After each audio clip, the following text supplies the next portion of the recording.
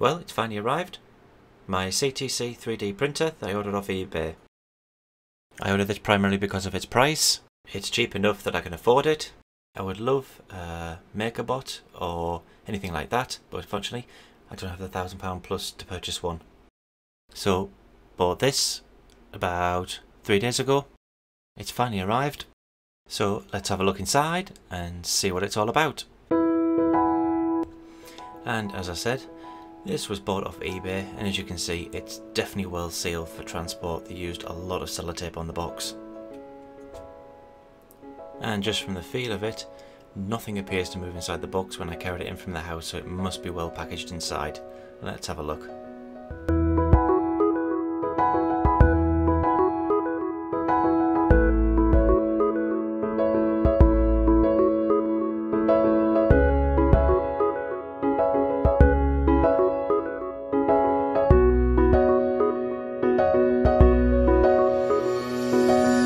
So as you can see it's very well packaged in the box. There are styrofoam protectors on the front, side and rear and what appears to be cardboard packing the build area, presuming to stop anything rattling around in transit.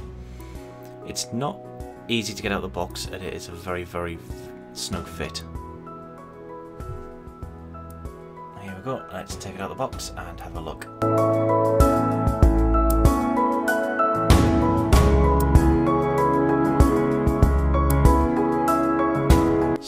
This is the back of the printer. Let's turn it around and have a look. And that is the front of the printer.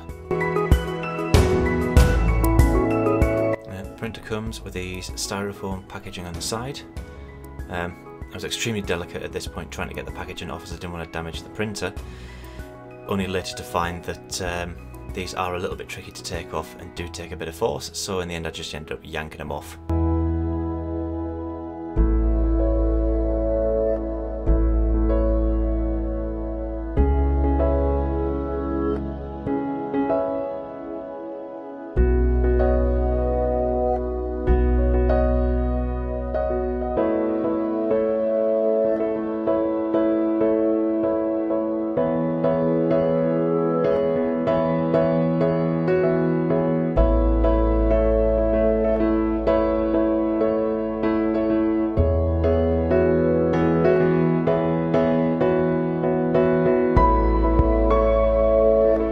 So there, with the packaging off, you can now see the printer itself, along with the insides and the printer bed with the red tape on it.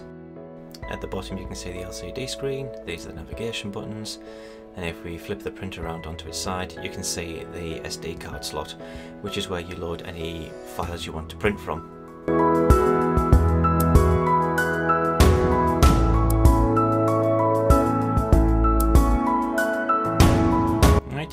First box is purely just packaging to stop anything rattling about inside the, uh, the printer during transport, so I'll chuck that to one side. The next box here has more interesting things in it for the actual printer. So as you can see, first out of the box we have the power lead for the printer.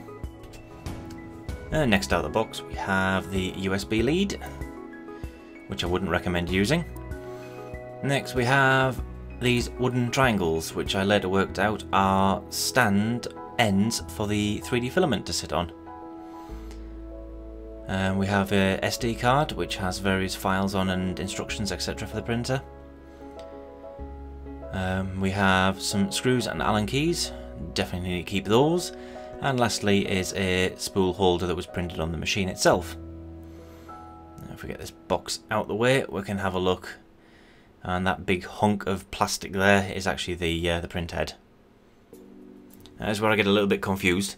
I couldn't work out how to get the boxes underneath the print bed out. That's packaging.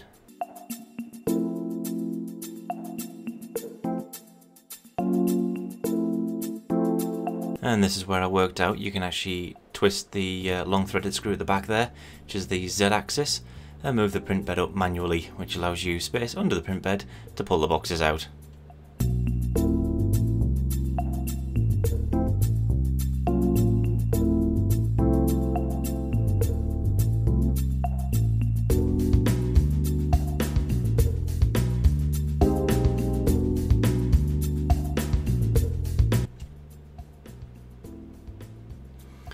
Right, and this box contains the filament you can select when you buy the printer.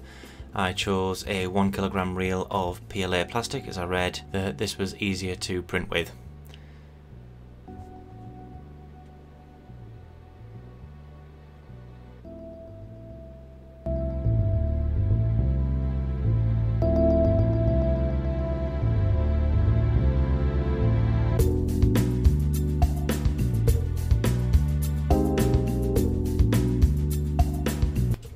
So let's take a closer look at the printer.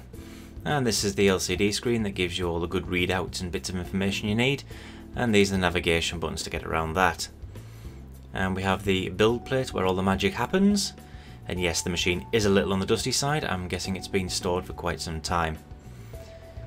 All the stepper motors are gathered on one side of the printer, as you can see here. These are the X and Y stepper motors, which are secure with zip ties for transit.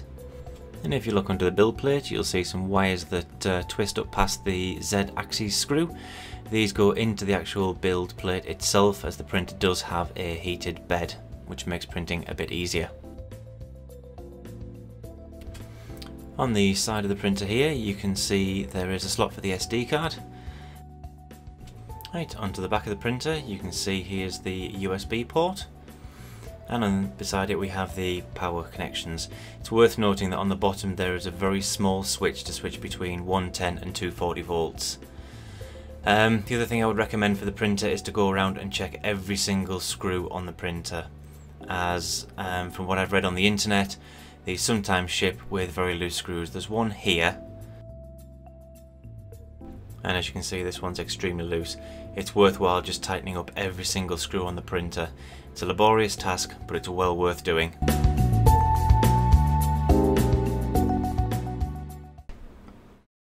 So, there we are. That is the unboxing of the CTC 3D printer that I bought off eBay. I plan on doing a second video which details how to attach the print head to the actual um, carriage that moves across uh, also in the video I'm going to do a detailed uh, explanation on how to level the print bed. This is something I have struggled with when I first bought the printer and I couldn't get any decent printer whatsoever to come off the machine itself. It took me, ooh, good two weeks. Yeah, it's a bit embarrassing I know probably. But yeah, it took me a good two weeks or so to get this thing levelled and get it all sorted. Once you get the print bed levelled and it's nice and even, the prints you get off that machine can be spectacular. I'm currently working on a project at the moment It's a splat. It's been primed. Um, I probably should have shot this video before I uh, primed it. It's nice and smooth. It's had a little bit of detailing work done to it. It's been sanded a little bit. But the prints are very, very good.